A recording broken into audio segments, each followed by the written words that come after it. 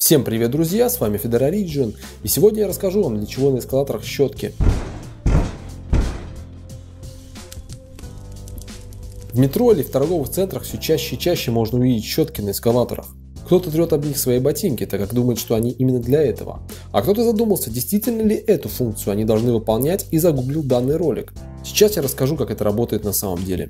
Если вы обращали внимание, то зачастую на обычных лестницах края ступеней выделены цветом. Это сделано для того, чтобы люди, увидев яркий край, не оступились и не упали.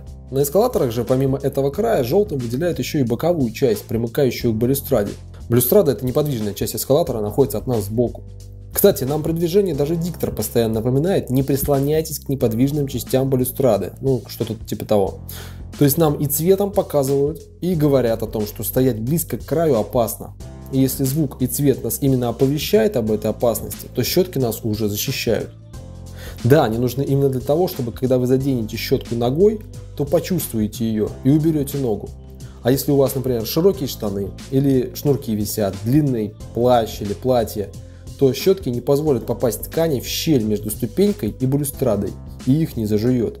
Это действительно важно, так как вслед за тряпками, которые на вас одеты, механизм может следом затащить вас самих и останется надеяться лишь на тетеньку внизу, которая сможет вовремя среагировать на ваши крики и остановить движение эскалатора. Поэтому не нужно пытаться чистить обувь. Если вашу ногу засосет туда, то эти ботинки вы уже носить точно не будете. А возможно и надевать их будет уже не на что. Друзья, если вам понравилось это видео, поставьте лайк и подпишитесь на канал, чтобы посмотреть другие интересные и полезные ролики. А с вами был Федор Ориджин. Всем пока!